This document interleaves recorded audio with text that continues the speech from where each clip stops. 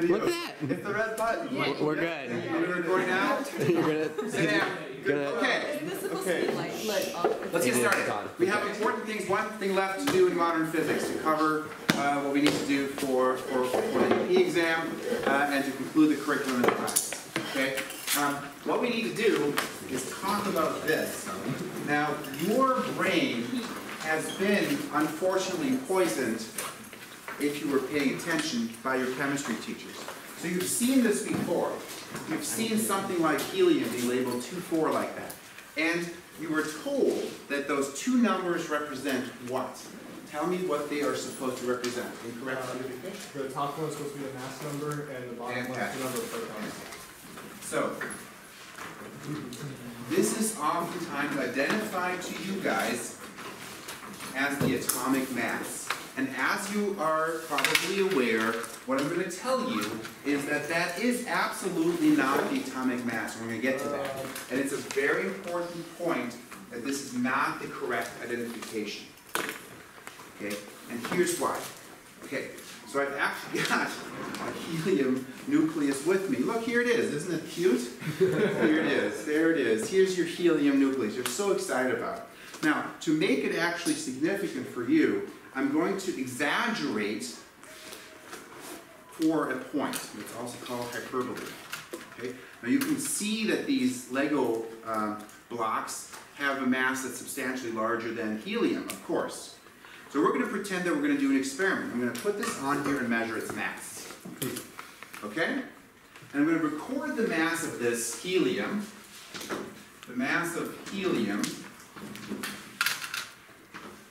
Okay, and you understand I'm talking about the two Lego, yellow Legos and the two red, red Legos together. And let's pretend that the mass that I measured for this is uh, realistically maybe 50 grams.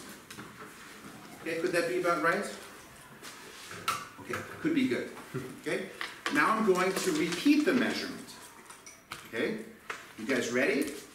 Now what I'm going to do is I'm going to take the helium apart into four parts, like this, and I'm going to remeasure the mass like that. Okay, and I'm going to look on here. Okay, and I'm going to find that the mass of the two protons and the two neutrons together, again, of course, this is not actually protons, not actually neutrons, okay? That that mass is 60 grams, okay? And then you'd probably say, well, that's interesting. Let's repeat the experiment because, you know, that experiment, just we probably made a mistake. Let's do the experiment again. And boom, it's again 50. Take it apart, measured like this, 60. Now notice that's the same things. The same things have a different mass dependent on the configuration. Okay, this should give you deep discomfort about the universe. Okay? Because this contradicts everything that you understand, right? It's kind of like saying we've got four bobsledders, let's mass them each. This is 190, 90, 100. Okay, you put them onto the scale together, suddenly they're like 400. You're like, what? It was 380 before, what's happened? What's, you know? So they, when if you mass things independently or together, it shouldn't affect the mass, but it does. Yes? Isn't it like if you boil water and then it's like gas, doesn't that also weigh less? Th- That's actually not true. So, so actually, uh, in, in chemistry, there's actually very careful experiments about the conservation of mass. There was some dude, I don't remember his name, anyway, who like measured like paper, and then he was like measuring the air, and he was like, got a little glass thing. Right? You know, about this experiment in chemistry class? If you didn't, then they actually were able to prove conservation of mass. Okay, so we basically put that in your brain, and we, being other science teachers, now I'm telling you mass is not conserved. And we saw that last time, but we'll see more of it today. Okay, and let's actually do this specific example, and, and that's why that's wrong. It's rounded correct, but it's very important to be detail oriented on this. So let's get some masses here from the book.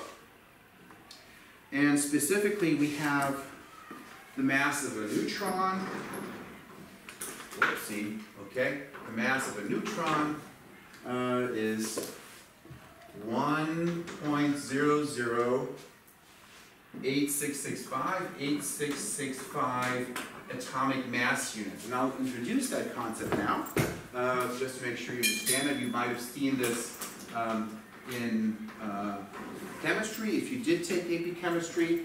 Um, it is equal to the mass of carbon 12 divided by 12. So carbon is used as the standard for defining uh, this unit, um, or to be uh, in kilograms, we can also express it. Um atomic mass unit is not listed on here. What the heck? It must be listed on here. Here it is. Sorry, it's 1.6605. Okay, uh, 1.6605 times 10 to the minus 27 kilograms. Now you might say, okay, who cares? It's one, right? As a chemist, you don't care. Okay? And, and th- that'll be clear when you see the mass of a proton. The mass of a proton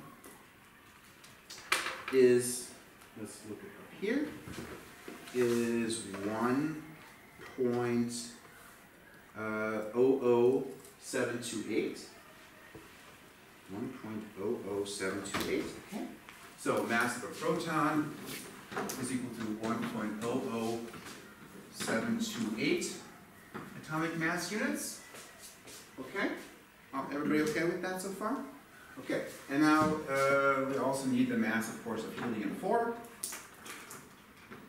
Oh, let's do it this way. And we look that up, mass of helium 4 is 4.002603.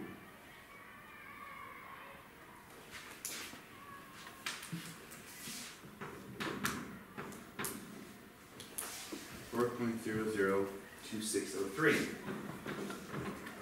Used.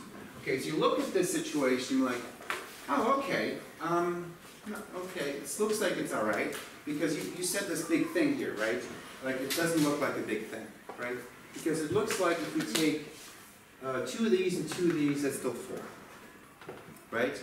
And if you want to throw an electron, fine, whatever, electron's really small, um, it won't make that big of a difference either. But let's kind of take a look at this and actually see what the difference is, okay? And, and, and, and it is a little bit disturbing.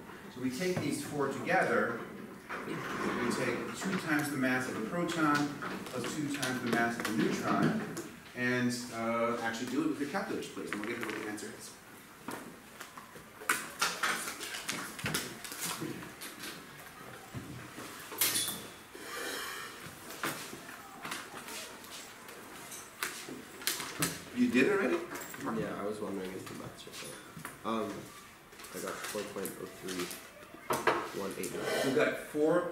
Point zero three one eight nine. That sounds right. Yeah. 4.03189. Two. Let's do 4.032. Like that? Is that okay? Yeah. That'll good enough? Okay. 4.032 U's. Okay, and again, it rounds to 4, but it's not 4. And that's actually really important, because if you compare to that, that to the mass of helium four, right? Four point oh oh three U's, yes, yes? You see that there's a difference between those two numbers, yes? So the mass has gone down when you put them together. And you'd find that there's a difference in mass here, delta M, which easy peasy. Nicht alle auf einmal. What's the difference there? Yeah, Twenty-nine. 29. So be 0.029 U. At this point, you probably say, oh, gosh, is this really important? Okay, because it's very little mass, agreed? And it's about the same. It's not like there would be a big difference. Because Mr. Blessman seemed to exaggerate the effect over here by saying 60 versus 50. And there, there it seemed like a big deal. This doesn't seem like a big deal at all. Okay, what are we missing here? Yeah. Like proportionally it's like a lot more. But it's such a small mass thing. Oh, so you're proportional to the whole thing, so as a percentage? It's a very small percentage though, right? Yeah. Like, if it was one percent, then we'd be, have a four here, right? So it's like a half a percent mass difference? Is that right? Am I doing the math right? A little less than, about half a percent? And this was like fifteen percent or something, right? So this is much bigger percentage, so this is a bigger deal. So we just lose, and the U is so small anyway, right? How small is a U? It's like ten to the minus twenty-seven, what's the big deal? Yeah, Does, because of this difference, does energy somehow? well, and, and so we introduced that idea when we talked about pair production. So when we introduced pair production, the idea that a gamma ray could turn into electron and a positron, there's an equivalence of energy mass, so we could turn this into energy. Okay, let's do it. Okay, so Einstein said if you have this kind of difference, then you can convert it into energy. Okay, well that's actually where the energy, where, where it goes. There's an energy that is released in this reaction. Okay, we can do the math on that. Now we're going to have to convert our U's, yeah, um, to kilograms. Yeah. So let's go uh, 1.66 times 10 to the minus 27 kilograms per U. Then we have the mass in kilograms and multiplied by 3 times 10 to the 8 squared, right?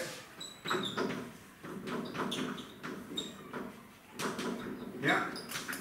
And surely we'll get a gigantic number out. Now let's try it. Um, you guys have calculators with you. We can figure out the value of how much energy is released in this.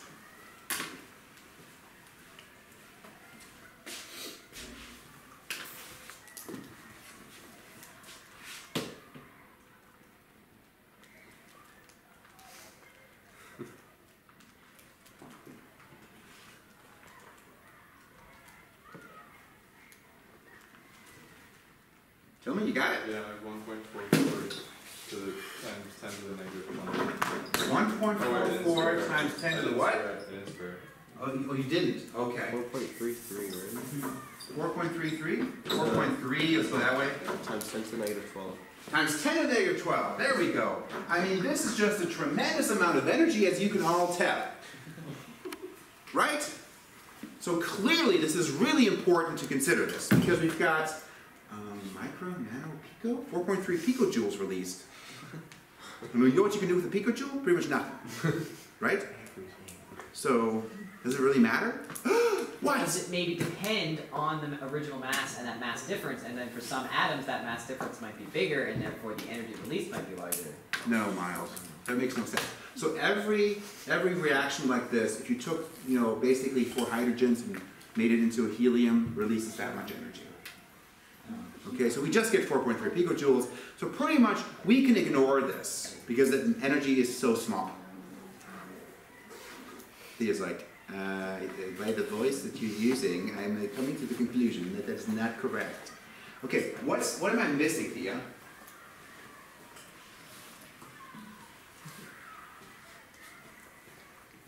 So let's say I'm going to actually do this. So I've got my, I've got my, you know, hydrogen reaction pot right here, and I'm going to take my tweezers, and I'm going to take, you know, one, two, three, four hydrogens or protons and neutrons, pretty much the same thing, and put them together and make one helium. Is this the way we'd actually do a reaction? No. Good job in the teacher voice analysis system, right? 11th grade, that's working great. Fantastic. So, what do we actually do when we do a reaction?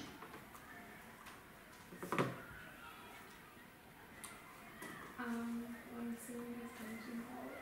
Oh, maybe, but basically, do we make one reaction occur or more than one reaction?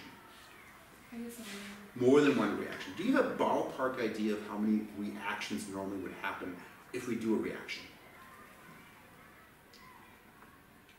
um, I'm guessing like it's a minus thing. as we have hydrogen. And what's the number when you're talking about chemistry reactions? The number that should be in your head. I'm going to volunteer this. Uh, Avogadro. Avogadro's number, right? Because that's the number of particles in one mole.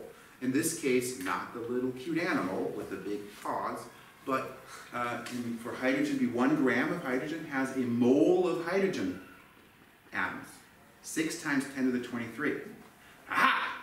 So maybe it's a better idea to think about how much energy is released in one mole of hydrogen, I'm sorry, one mole of helium being created.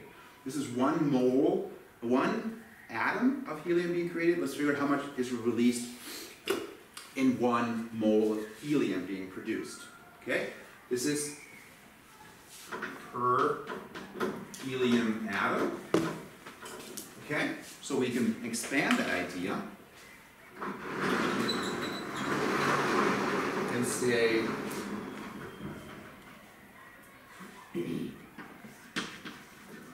so we'll create one mole of helium four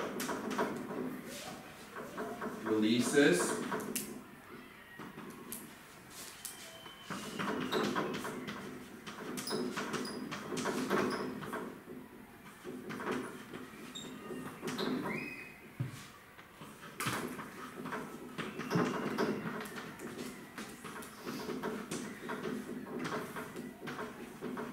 Okay, that makes sense, that's Avogadro's number, that's how it's defined. Avogadro's number is 6.2, 6.022 times ten to the twenty-three atoms per mole. Therefore, we'll get the energy per mole. Um, we can plug in the value, and now we get a different number, Max. Um, five point two, five, uh, two point five nine times ten to the, 2.6 times ten to the what? uh, twelve. 12. Aha! Joules. Okay, you guys are terrible with big numbers. We've discussed this earlier. That's why you keep electing politicians who spend all your money on bombers, right? Like, two billion for a bomb? That's great. Let's get three. I have no idea what that means, right? You're like, aircraft carrier for 150 billion? Sounds good. Let's buy five. I don't know, 12?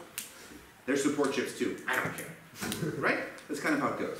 But anyway, so this is mega, giga, tera, terajoules. Again, difficult to picture.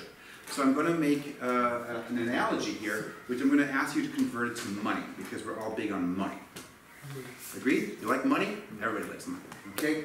And the normal unit of money uh, that we, normal unit of energy that you guys uh, don't buy, because you're uh, Schmarotzer auf Deutsch, of your parents, your parents buy it, right? Yes? kilowatt hours, right? They buy it in units of kilowatt hours and they pay a power bill, yes? And um, they generally pay uh, uh, one kilowatt hour costs, uh, in Germany, I, I think like 30 cents or 25 cents or something like that. It's quite a bit more expensive than the United States because of uh, the energy, Energiewende, right? We're switching all over to you know, wind wheels and all that stuff. It's more expensive for a while and hopefully the end you know, we don't have to kill dinosaurs. They're already dead. Okay, but anyway, so uh, costs, uh, what do we say, 25 cents, 30 cents? Make it 36 cents. Why? We'll see in a second. Okay, so uh, kilowatts, sorry, kilowatt hour, sorry, I should have corrected that. Uh, costs, let's say 36 cents, euro cents. How do you do that? Oh, let's do it this way. Okay, this way. I don't even know how to do a euro cent. You just put a C behind it and the the bars across it. Yeah, line. Is it that way? Yeah, But isn't it the American one too? Hmm? yeah. Okay, doesn't matter. So a kilowatt hour is actually a kilowatt times an hour. Hmm. That's why this thirty-six cents will work out nicely, because this means that it's one thousand joules per second, right? Times three thousand six hundred seconds. Yes, yes? Which is, of course, three point six times ten to the six joules. Make sense? So that means if we're paying 0.36 euros for 3.6 times 10 to the 6 joules, yeah? That means we're spending uh, 10 to the minus 7 euros per joule. Is that right? Yeah, that's right. Correct? You happy with that? Okay, now let's figure out how much money we can get out of this one mole of helium. Okay, because here we have a value for the energy, right? And there we have how much that energy is worth. Okay, so now we have the value of one mole of helium being fused. That's what we call it, fused. Okay? So, we, yep, So go. I just, in, in this, uh, and so in this analogy, is that, is the thirty-six euro cents representing something in terms of like the energy or something like that? it It- It's saying if you, if you live in Germany, you buy your, your power Okay, so in you, kilowatt hours, Okay. that's a realistic price. It's a little high. I think I- you spend a little bit less, like 26 cents, 22, 25, but it's ballpark. And I chose 36 cents just to make the math easy, because then we exactly end up with 10 to the minus 7 euros per joule, which is like a weird unit, but now we can figure out how much money this is, and we all like money. Miles, what you got? Two point six million euros. Uh, that is not quite right. Oh, 'cause it's a divide. No, you do need to multiply, but you multiplied wrong. Not sure that happened. Yeah, do you have it? Two hundred sixty thousand euros. Okay, so we have this number, two point six, and I'm gonna speculate that what you did was not use the E button. No, he did, but then he, he got the right wrong? answer, and then he divided it, and then he multiplied it again. Oh, why would you do that? Okay, so then this times Oh, no, no, he did it, 10 to the minus 7 euros per joule. And um, you can see, well, the joules cancel, that's good. We end up with euros. 10 to the 12 times 10 to the minus 7 is, nicht alles einmal? 10 to the 12 times 10 to the minus 7, Ten to the ten to fifth. fifth. 10 to the 5th. Okay, so this is 2, 2.6 times 10 to the 5 euros, or 260,000 euros. So creating one, one mole of helium, four grams, four grams of helium. You start with four grams of hydrogen, you convert that into four grams of helium, the energy is worth 260,000 euros. Now I slightly exaggerated, yeah? But even if I exaggerated by a factor of 10, which I didn't, we're still looking at basically a decent car for creating four grams of helium.